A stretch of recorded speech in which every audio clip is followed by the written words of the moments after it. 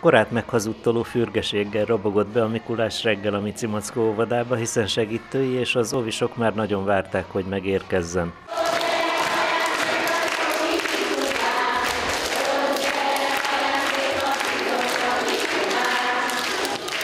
Kéményen keresztül szoktam jönni, egy ilyen nagy fiú ezt már tudhatná. Mivel elég régen voltam gyerek, elfelejtettem. Mindenki érintett a dologban, szerintem a felnőttek is várják a Mikulást, a nyugdíjasok is, a gyerekek is, mert hogy mindenki jó egész évben, és ezért a Mikulások sok ajándékot hoz nekik.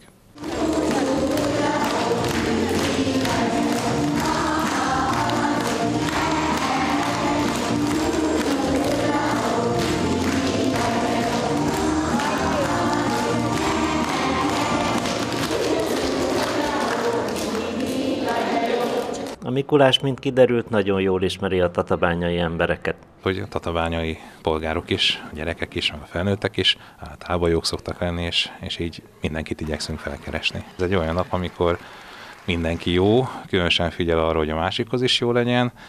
Én azt gondolom, hogy a város lakói egész évben így viselkednek, ezért fontos, hogy mindenhová juthassunk ezekkel a finom ajándékokkal. Most a Mici Mackó óvodában vagyunk, ide nagyon régen járok már, nagyon-nagyon jó gyerekek vannak, nagyon jó pedagógusok, tényleg öröm ide minden évbe eljönni.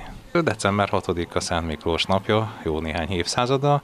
Ilyenkor a Mikulások ugye a rendes munkahelyükről szabadságot vesznek ki, és ö, nagyon jól érzik magukat, egész évben erre várnak, szerintem a többiek is, és ö, így jut 24 óránk, vagy 18 biztosan arra, hogy, hogy örömet okozzunk másoknak is, de hát ö, önző módon magunknak is. A Mikulásnak bizony ma is nagyon zsúfolt volt a programja. Még sok helyre van még itt a körzetben egy másik óvoda, a Mészőgedeon óvoda, aztán az idősek napközi otthona, fölkesek jó néhány egyedül élő nyugdíjas nénit bácsit itt a környéken, és akkor délután pedig a, az újváros elején lévő családokhoz, kis, kisgyerekes családokhoz igyekszem.